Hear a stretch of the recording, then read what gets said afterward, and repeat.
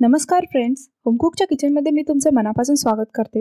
आज आपण करणार आहोत महाराष्ट्राची शान असलेली म्हणजे सगळ्यांची आवडती पुरणपोळी. पुरणपोळी करण्याचे तसे बरेच प्रकार आहेत पण त्यातल्या त्यात चणा डाळ आणि मैद्यापासून केलेली पुरणपोळी ही सगळ्यांचीच आवडती. होळी गुढीपाडवा दसरा गणपती किंवा घरातील सत्यनारायणाची पूजा असो देवाला नैवेद्य चढवला जातो तो फक्त पुरणपोळीचा. तुम्ही इथे पाहू शकता माझी पुरणपोळी इथे किती सुंदर अशी फुगली गेलेली आहे. जेवढी ही पुरणपोळी दिसण्यासाठी सुंदर झालेली आहे तेवढीच ही खाण्यासाठी देखील अतिशय चविष्ट आहे. योग्य प्रमाण आणि काही खास महत्त्वाच्या टिप्ससह मऊ लुसलुशीत पुरणपोळी कशी करायची ते आज मी तुम्हाला या व्हिडिओमध्ये दाखवणार आहे. तर आता आपण इथे वेळ न घालवता ही मऊ लुसलुशीत पुरणपोळी आहे ती बनवण्यासाठी घेऊया. या व्हिडिओमध्ये मी तुम्हाला काही महत्त्वाच्या टिप्स देखील देणार आहे ज्याने तुमची ही पुरणपोळी आहे ती हमखास मऊ आणि लुसलुशीतच बनणार आहे. त्यामुळे ही व्हिडिओ आहे ती कुठेही स्किप न करता संपूर्ण पहा. ही पुरणपोळी बनवण्यासाठी सर्वप्रथम आपण पुरणपोळीचं पुरण बनवून घेणार आहोत. हे पुरण बनवण्यासाठी मी इथे साडेतीनशे ग्राम चणा डाळ घेतलेली आहे. साडेतीनशे ग्राम चणा डाळचे तुम्ही बारा ते तेरा पुरणपोळी ही आरामात बनवू शकाल. ही डाळ आहे ती मी एका मोठ्या पातेलीमध्ये काढून घेतलेली आहे आणि आता मी ही डाळ दोन ते तीन पाण्यामध्ये स्वच्छ धुवून घेणार आहे. ही डाळ मी दोन ते तीन पाण्यामध्ये स्वच्छ धुवून घेतलेली आहे. आता आपल्याला ह्यात पाणी घालायचं आहे. मी ज्या वाटीने चणा डाळ घेतलेली होती त्याच वाटीने मी इथे पाणी वापरत आहे. मी इथे अडीच वाटी पाणी वापरलेलं आहे. पूर्ण आपली डाळ भिजून एक इंच पाणी शिल्लक राहील. आपल्याला एवढं पाणी यात घालायचं आहे. जर पाणी कमी वाटलं तर आपण नंतर पुन्हा गरम पाणी ह्यात ॲड करू शकतो. आता आपण ही डाळ आहे ती मिनिमम वीस ते पंचवीस मिनिटे एकदम लो फ्लेमवरती शिजून घ्यायची आहे आणि मध्ये मध्ये ह्याला हलवून घेत राहा नाहीतर ही डाळ आहे ती खालतून करपण्याची शक्यता आहे. आता इथे एक वीस मिनिटे झालेली आहेत. ह्या डाळीमध्ये मला थोडं पाणी कमी वाटत होतं म्हणून मी पुन्हा थोडंसं गरम पाणी ॲड केलेलं आहे. या डाळीवरती जो आलेला सफेद फेस आहे तो आपण इथे आधी काढून घेऊयात. आणि डाळ आहे ती एकदम लो फ्लेमवरती शिजून घ्या नाहीतर ती लवकर करपून जाण्याची शक्यता असते. आता आपण ही डाळ आहे ती पुन्हा दहा ते पंधरा मिनिटे शिजून घेणार आहोत. जोपर्यंत ही डाळ एकदम मऊ अशी होत नाही तोपर्यंत आपल्याला ही डाळ इथे शिजवून घ्यायची आहे. आता इथे दहा ते पंधरा मिनिटे झालेली आहेत. या डाळीमधलं पाणी आहे ते पूर्णपणे सुकून गेलेलं आहे. ही डाळ पूर्ण हाताने मऊ होते. याचा अर्थ माझी ही डाळ छान अशी शिजली गेलेली आहे. आता आपण ह्यात गूळ घालून ती डाळ पुन्हा शिजून घेणार आहोत ज्याने ती एकदम मऊ अशी बनते. मी यात अडीचशे ग्राम गूळ घातलेलं आहे. हे गूळ मी बारीक किसून घेतलेलं होतं जेणेकरून ते लवकर यात वितळलं जावं म्हणून. हे गूळ मी आता ह्यात पूर्ण छान मिक्स करून घेते. आणि गॅसची फ्लेम स्लो ठेवून आपण पुन्हा एक सात ते आठ मिनिटे शिजवून घेणार आहोत.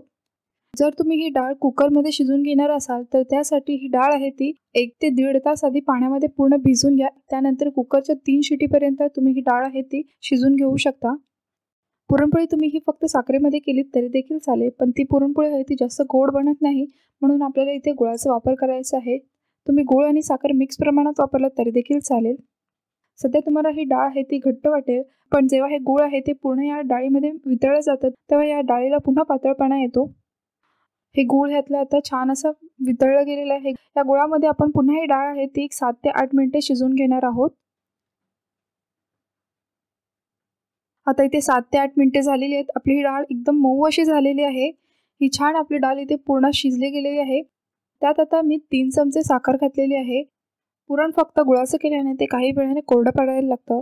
या पुरणामध्ये थोडीशी साखर घातल्याने हे पुरण आहे ते एकदम मऊ राहतं. आता यात मी एक चमचे वेलची पावडर घातलेली आहे जेणेकरून या पुरणपोळीला छान असा वास हवा म्हणून मी पुन्हा एकदा ह्याला मिक्स करून घेते.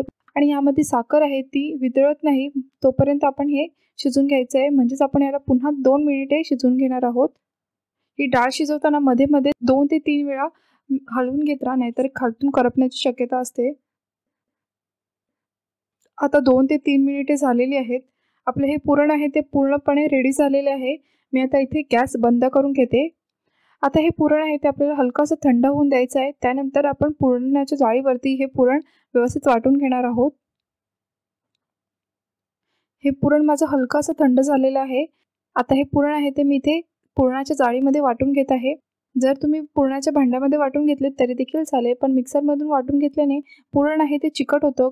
किंवा जास्त सुकं होण्याची देखील शक्यता असते. आणि एखादा डाळीचा दाणा आहे तो अख्खा राहण्याची शक्यता असते ज्याने आपली पुरणपोळी आहे ती फाटली जाते नंतर.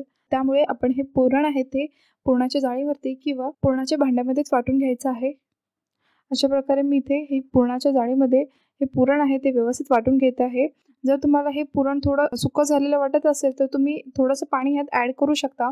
हे पूर्ण आहे ते तुम्ही मिनिमम तीन दिवस तरी फ्रीजमध्ये साठवून ठेवू शकता. आणि मग तुम्हाला जेव्हा तुम्हाला पुरणपोळी खायची असेल तेव्हा तुम्ही ह्या पुरणाचा वापर करू शकता. अशा प्रकारे आपले हे पुरण असं वाटलं गेलं पाहिजे. एकदम उकडलेल्या बटाट्याचा जसा लगदा होतो तसा प्रकारे हा पुरणाचा इथे लगदा झाला पाहिजे. तुम्ही पाहू शकता हे किती प्रमाणात सॉफ्ट आहे ते. तशा प्रकारे मी आता हे पूर्ण पुरण वाटून घेत आहे. आता आपण पीठ मळून घेणार आहोत. त्यासाठी मी इथे अडीचशे ग्राम मैदा घेतलेला आहे. ज्या वाटीने मी डाळ वापरलेली होती त्याच वाटीने मी इथे दोन वाटी पीठ वापरलेले आहे. त्यात आता मी चवीप्रमाणे मीठ घातलेलं आहे.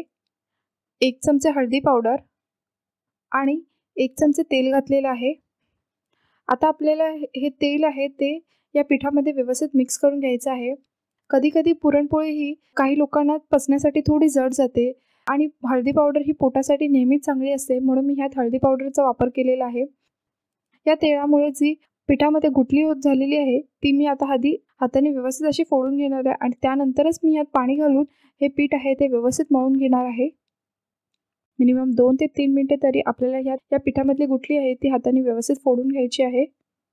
हे पीठ पूर्णपणे प्लेन झालं की मी यात थोडं थोडं पाणी घालून हे पीठ आहे ते व्यवस्थित मळून घेणार आहे. तुम्ही जर इथे गव्हाचं पीठ आणि मैदा मिक्स प्रमाणात वापरलात तरी देखील चालेल. ही पुरणपोळी फक्त मैद्याची बनवाल तर ती लाटण्यासाठी देखील अतिशय सोपी जाते आणि पुरणपोळी देखील अतिशय सुंदर फुगली जाते. आता आपल्याला ह्यात थोडं थोडं पाणी घालून हे पीठ आहे ते छान मळून घ्यायचं आहे.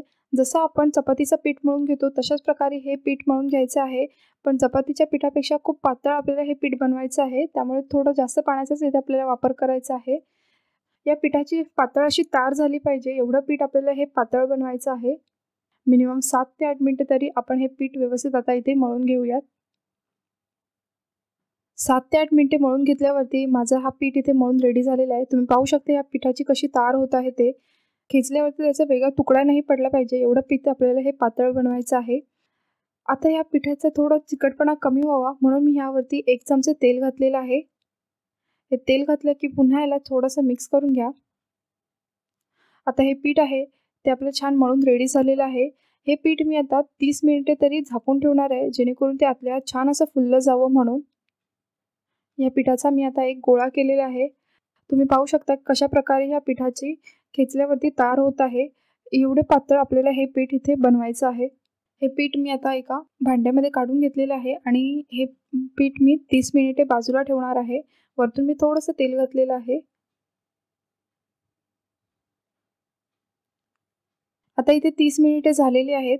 माझं हे पीठ आहे ते छान असं फुललं गेलेलं आहे आणि पुरण देखील पूर्ण वाटून झालेलं आहे. आता आपण हे पुरण आहे ते आधी या पिठामध्ये भरून घेऊयात. सर्वप्रथम मी थोडासा पिठाचा गोळा घेऊन हे पीठ मी हातावरती थोडंसं पसरून घेतलेलं आहे.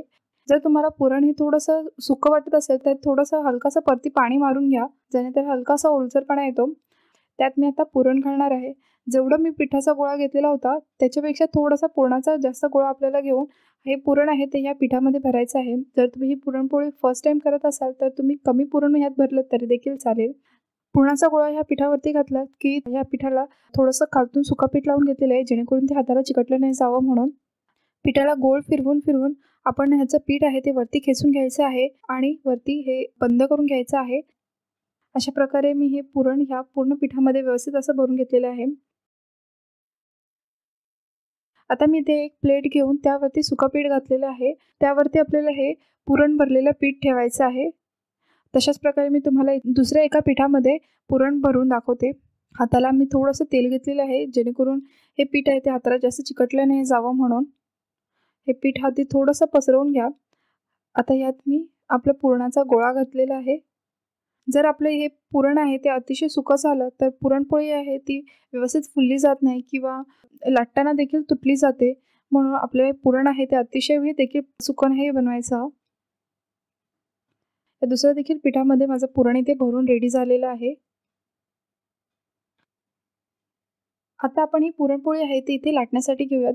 लाटण्यासाठी मी ह्यावरती थोडंसं सुखपीठ लावून घेतलेलं आहे. जास्त पण सुखपीठ लावू नका ज्याने ते पुरणपोळीला तसंच रा लागून राहतं. म्हणून अगदी कमी पीठ वापरून आपल्याला ही पुरणपोळी आहे ती इथे लाटून घ्यायची आहे. मी इथे एक व्हाईट पेपरवरती ही पुरणपोळी लाटण्यासाठी घेतलेली आहे. तुम्ही कॉटनच्या कपड्यावरती देखील पुरणपोळी आहे ती लाटून घेऊ शकता. पुरणपोळी ही खूप नाजूक असते त्यामुळे ती उचलताना फाटली जाण्याची शक्यता असते. म्हणून अतिशय सोप्या पद्धतीमध्ये म्हणजेच आपण ही पुरणपोळी आहे ती ती पेपरवरती लाटून घ्यायची आहे. आणि पेपर फिरवून आपल्याला ही पुरणपोळी आहे ती अशा प्रकारे इथे लाटून घ्यायची आहे. अगदी हलक्या हाताने पुरणपोळी आपल्याला इथे लाटून घ्यायची आहे. जर ही पुरणपोळी आहे ती लाटताना थोडी चिटकली जात असेल तर तुम्ही यावरती थोडंसं सुकपीठ लावू शकता. पहिली साईडची कडा आहे ती व्यवस्थित लाटून घेऊन त्याच्या मधल्या भागेवरती देखील आपण ही पुरणपोळी व्यवस्थित लाटून घ्यायची आहे. अशा प्रकारे अगदी हलक्या हाताने मी ही पुरणपोळी आहे ती इथे पूर्ण लाटून घेतलेली आहे. आता आपल्याला ही पुरणपोळी आहे ती हातावरती थोडीशी फिरवून घ्यायची आहे. ज्याने त्यावरती काही सुकापीठ लागलेलं असेल ते देखील निघून जातं आणि आपली पुरणपोळी आहे ती देखील अतिशय पातळ बनते. दुसरीकडे मी एक तवा गॅसवरती गरम करत ठेवला होता. तवा छान गरम झाला की त्यात मी आता ही आपली पुरणपोळी घातलेली आहे. मीडियम फ्लेमवरती आपण ही पुरणपोळी आहे ती दोन ते अडीच मिनिटे भाजून घेणार आहोत. आणि मध्ये मध्ये पुरणपोळी आहे ती थोडी फिरवून घेत राहा. जेणेकरून त्याची एकच साईड आहे ती जास्त करपली नाही जात. तुम्ही इथे पाहू शकता याला हलकेसे आता फोड यायला लागलेले आहेत. आता आपण ही पुरणपोळी आहे ती इथे पलटून घेऊयात. पुरणपोळी पलटून घेतली की तुम्ही इथे पाहू शकता आपली ही पुरणपोळी लगेच छान अशी फुगायला लागलेली आहे. पुरणपोळी आहे ती मध्यभागी एकदम व्यवस्थित शिजली जाते पण त्याची साईडची कडा आहे ती कधी कधी कच्ची राहण्याची देखील शक्यता असते. म्हणून कॉटनच्या कपड्याने आपल्याला हलकी अशी ही पुरणपोळी फिरवून घेऊन त्याची साईडची कडा आहे ती देखील व्यवस्थित भाजून घ्यायची आहे. आता या पुरणपोळीवरती मी साजूक तूप घातलेलं आहे. साजूक तूप घालून झालं की मी पुन्हा ही पुरणपोळी आहे ती पलटून घेतली आहे. तुम्ही पाहू शकता किती सुंदर अशी आपली ही पुरणपोळी इथे फुगली गेलेली आहे ते. एकदम हलक्या हाताने मी इथे कपड्याने ही पुरणपोळी इथे फिरवून घेत आहे. मी पुन्हा त्याच्या दुसऱ्या साईडवरती देखील इथे साजूक तूप घातलेलं आहे. जर तुम्हाला ही पुरणपोळी आहे ती दोन ते तीन दिवसापेक्षा जास्त दिवस ठेवायची असेल तर ती फ्रीजमध्ये ठेवा ज्याने ती सहा ते सात दिवस फ्रीजमध्ये आरामात राहते. ती बिलकुलही खराब होत नाही. तुम्ही पाहू शकता आपली पुरणपोळी किती सुंदर अशी फुगली गेलेली आहे ते. अशा प्रकारे ही सुंदर अशी पुरणपोळी आपली इथे भाजून पूर्णपणे रेडी झालेली आहे. ही पुरणपोळी मी इथं एका प्लेटवरती काढून घेतलेली आहे. तशाच प्रकारे मी तुम्हाला इथे दुसरी एक पुरणपोळी आहे ती भाजून दाखवते. तवा छान गरम झाला की त्यावरती मी ही पुरणपोळी घातलेली आहे. अवघ्या एक ते दीड मिनटामध्ये या पुरणपोळीला आता साईडहून छान असे फोड यायला लागलेले आहेत. आता आपण ही पुरणपोळी आहे ती इथे पलटून घेऊयात.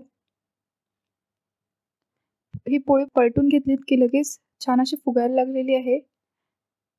त्याला हलकासा कपड्याने कॉटनच्या कपड्याने प्रेस करून घ्या जेणेकरून ती अजून जास्त छान फुलली जाते. आता ह्यावरती मी साजूक तूप घातलेलं आहे. साजूक तूप घालून झालं की मी ही पोळी पलटून घेतलेली आहे. ही छान अशी मऊ लुसलुशीत अशी पुरणपोळी आता इथे बनवून रेडी झालेली आहे. खूप सुंदर अशी आपली ही पुरणपोळी इथे बनवून रेडी आहे. ही पुरणपोळी आहे. ती मी इथे साजूक तुपासोबत खाण्यासाठी सर्व केलेली आहे. इथे माझ्या तीनशे ग्राम डाळीच्या मीडियम साईजमध्ये तेरा पुरणपोळी ह्या आरामात झाल्या होत्या. आता गणपतीचे सण देखील खूप जवळ आलेले आहे. त्यामुळे ह्या गणपतीच्या सणाला तुम्ही ही पुरणपोळी आहे ती जरूर ट्राय करा. तुम्हाला माझी ही व्हिडिओ आवडली असेल तर प्लीज लाईक करा. माझ्या चॅनलला जरूर सबस्क्राईब करा. आणि तुम्हाला माझी ही पुरणपोळीची व्हिडिओ कशी वाटली ते तुम्ही मला कमेंटद्वारे जरूर कळवा. माझी व्हिडिओ बघितल्याबद्दल थँक्यू.